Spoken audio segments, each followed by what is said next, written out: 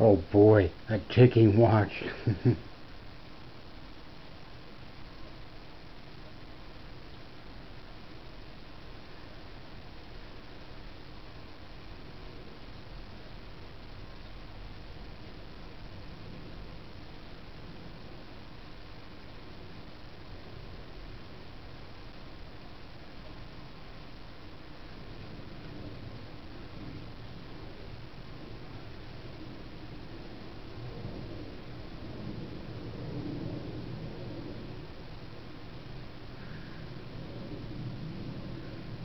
Time's up.